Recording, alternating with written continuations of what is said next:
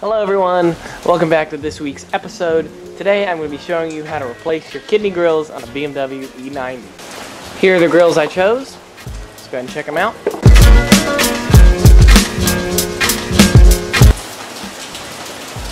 As you can see, I went with the double grate here grill, and uh, that's more of an M style. I really like the way that looks as opposed to the normal black grill.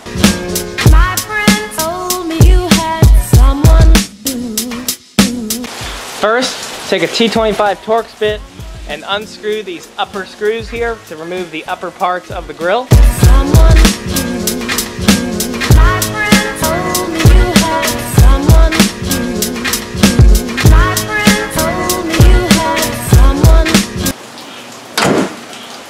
Now let's move on to the bottom pieces. Now when you're trying to fit these in, some of them are labeled left and right, mine are not, but you just set them on there and they only work on one side, so it's pretty easy to figure out which side goes where. Let's remove these screws with Torx T30.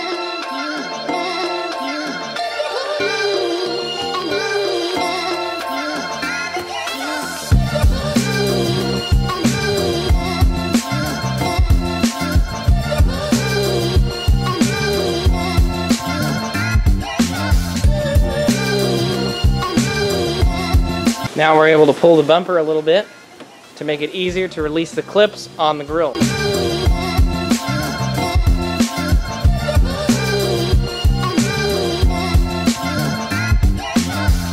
Unsnapping the grill, push these tabs down and pull out.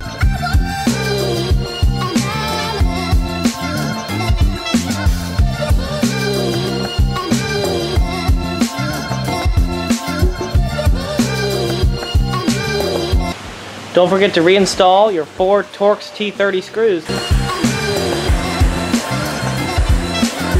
Okay everyone, that's going to conclude today's DIY video. If you want to see more BMW content, go ahead and click on that subscribe button. And if you like today's video, go ahead and like it. I'll be leaving the link in the description to where I bought these grills from. They're a great price, about $35. Much cheaper than I've found anywhere else. I'm going to try to start posting every Saturday as I'm going to be probably doing something on my car almost every Saturday or some sort of automotive thing. Um, and I'm going to be starting to shift this channel in the automotive direction. So hopefully you guys are going to be excited about that. And you know, since I'm doing these mods to my car, I might as well show you guys how to do them. Anyway, without further ado, thanks so much for watching. See you all next